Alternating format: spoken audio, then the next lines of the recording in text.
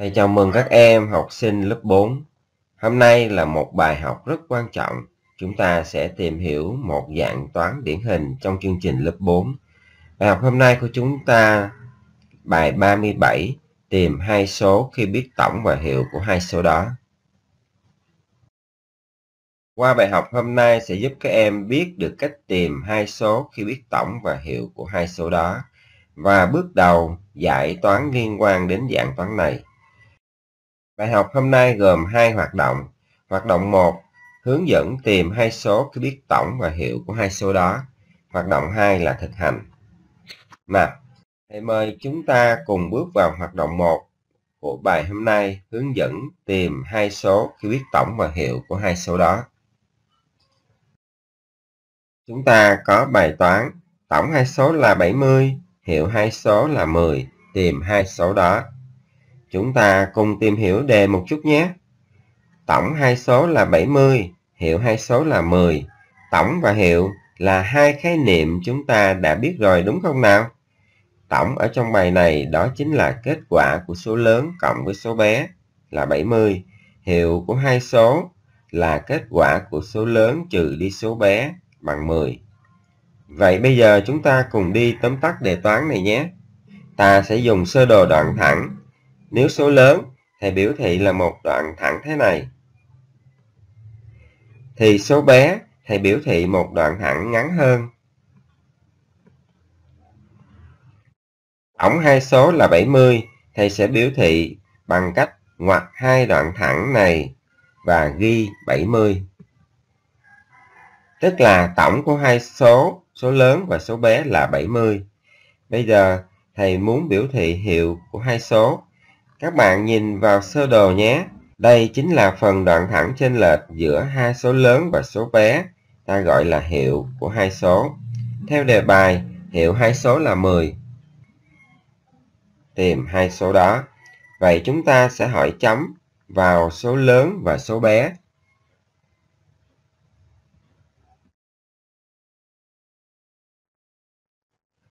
Đây chính là sơ đồ của bài toán Bây giờ chúng ta cùng đến với cách giải của bài toán này như thế nào? Quan sát và sơ đồ ta thấy số lớn hơn số bé một phần đoạn thẳng là 10 hay gọi là hiệu là 10.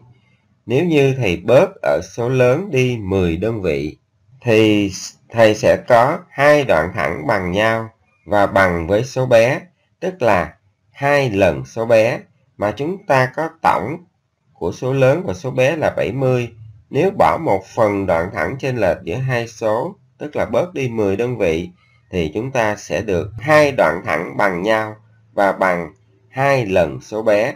Lấy tổng trừ đi hiệu ta sẽ được hai lần số bé. Vậy thì bước giải đầu tiên của chúng ta tìm hai lần số bé bằng cách lấy tổng trừ đi hiệu bằng 60. Thầy đi tìm số bé trước Vậy hai lần số bé là 60, thầy tìm được số bé bằng cách nào? À, chúng ta sẽ lấy hai lần số bé là 60 chia cho 2. Thầy có lời giải số bé là lấy 60 chia 2 bằng 30.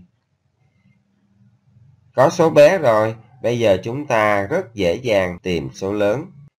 Thầy có lời giải số lớn là ta sẽ lấy số bé là 30 cộng với hiệu, ta được số lớn hoặc có thể lấy tổng là 70 trừ đi số bé ta cũng được số lớn là 40.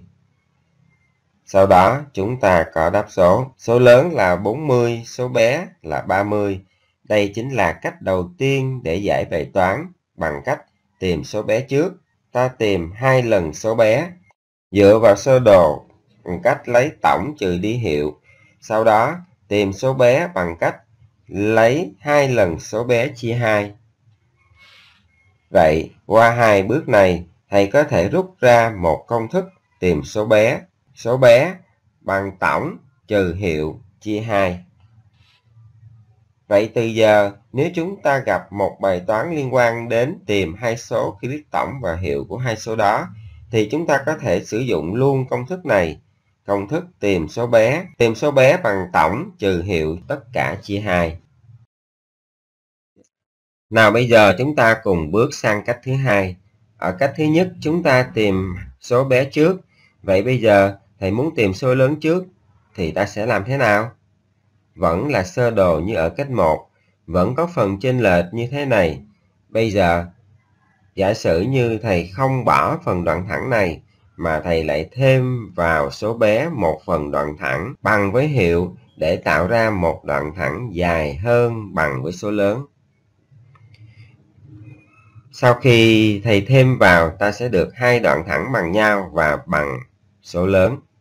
Tức là hai lần số lớn. Như vậy, muốn tìm hai lần số lớn, ta sẽ lấy tổng cộng hiệu. Tức là ta lấy 70 cộng 10 bằng 80. Đến đây, để tìm ra được số lớn, ta lấy hai lần số lớn chia 2. Như vậy số lớn là 80 chia 2 bằng 40. Cũng giống như ở cách 1, sau khi tìm được số lớn, chúng ta dễ dàng tìm số bé bằng cách lấy số lớn trừ đi hiệu hoặc lấy tổng trừ đi số lớn. Vậy số bé là 40 trừ đi 10 bằng 30 hoặc 70 trừ 40 cũng bằng 30. Chúng ta có đáp số. Số lớn bằng 40, số bé bằng 30. Vậy qua cách thứ hai chúng ta rút ra được nhận xét liên quan đến công thức tìm số lớn là gì nào? À, đó chính là số lớn bằng tổng cộng hiệu tất cả chia 2. Khi giải bài toán này, các bạn có thể giải một trong hai cách trên đều được nhé. Vậy là qua hai cách vừa rồi thì chúng ta đã rút ra được hai công thức trong bài toán tìm hai số khi biết tổng và hiệu của hai số đó. Để tìm số bé, ta lấy tổng trừ hiệu tất cả chia 2. Hoặc tìm số lớn, ta lấy tổng cộng hiệu tất cả chia 2. Đây là một công thức hết sức quan trọng của dạng toán điển hình ở lớp 4. Thầy hy vọng rằng các em sẽ cố gắng đọc và nhớ thật kỹ để làm bài toán tốt nhé. Bây giờ chúng ta cùng nhau áp dụng công thức để đi thực hiện các bài tập dưới đây nhé. Thầy mời các em cùng bước vào hoạt động 2. Thực hành.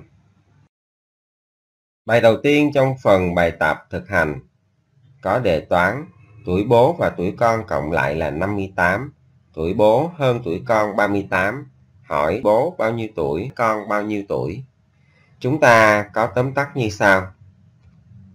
Đây là một dạng toán tính tuổi.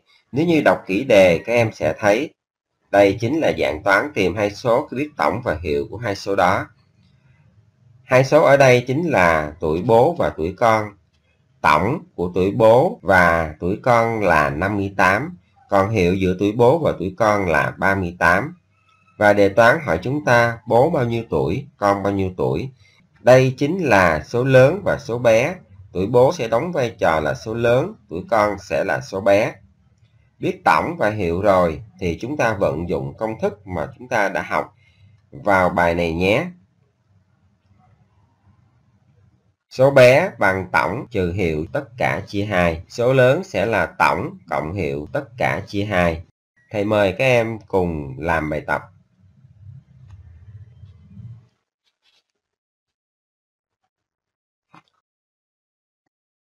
Chúng ta đối chiếu kết quả của mình với thầy nhé.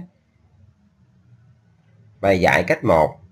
Tuổi con là 58 trừ 38 tất cả chia 2 bằng 10 tuổi. Tuổi bố là 10 cộng 38 bằng 48. Đáp số tuổi bố 30, 48 tuổi, tuổi con 10 tuổi. Cách 2. Tuổi bố là 58 cộng 38 tất cả chia 2 bằng 48. Tuổi con là 48 trừ 38 bằng 10 tuổi. Đáp số 48 tuổi, con 10 tuổi. Vậy, đáp án ở hai cách chúng ta đều giống nhau, chỉ là khác nhau ở cách giải mà thôi. Thầy đã trình bày xong hai cách giải bài toán. Các em cùng sửa bài vào vở nhé.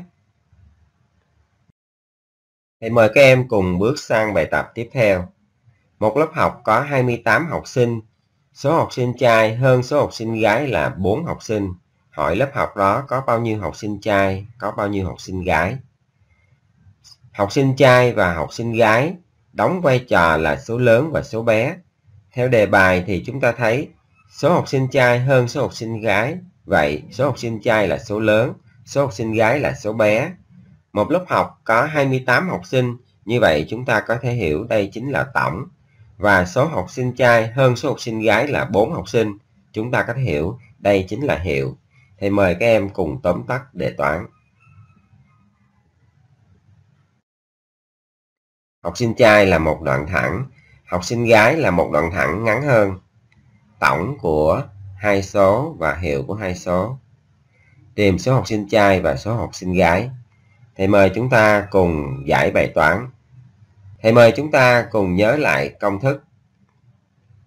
Tìm số bé bằng cách lấy tổng trừ hiệu tất cả chia 2. Tìm số lớn bằng cách lấy tổng cộng hiệu tất cả chia 2. Thì mời các em cùng giải bài toán.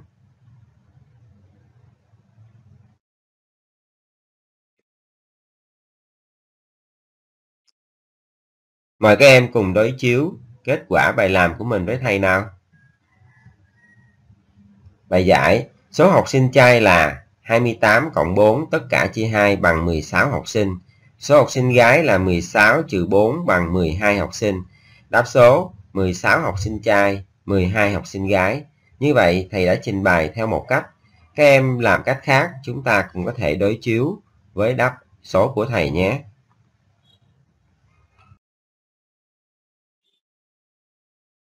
Chúng ta vừa tìm hiểu xong nội dung bài hôm nay và hoàn thành bài tập thực hành. Ở nhà các em xem lại bài. Ôn công thức tìm hai số khi biết tổng và hiệu của hai số đó. Chuẩn bị bài tiếp theo bài luyện tập trang 48.